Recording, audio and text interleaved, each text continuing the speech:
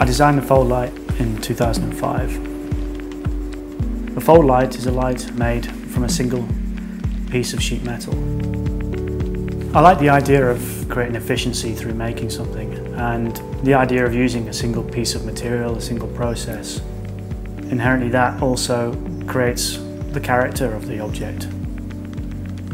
So this is the flat pattern of the lamp out of the metal and this is the shade and the, the stem and the, the base.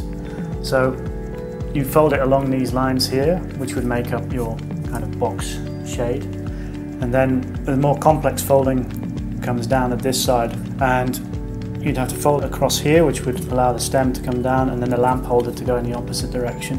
And then a similar process here with the foot of the lamp where you'd have to fold the material in opposite directions. I really like the offset of the sheet material and then the braided cable with the injection of colour being bright red as a kind of sharp contrast.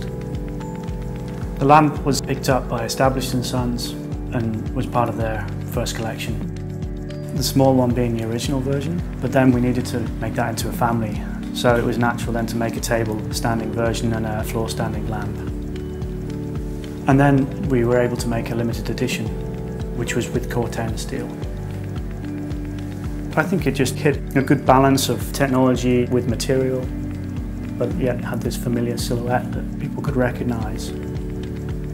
The fold lamp was really the product that defined essentially where I am today.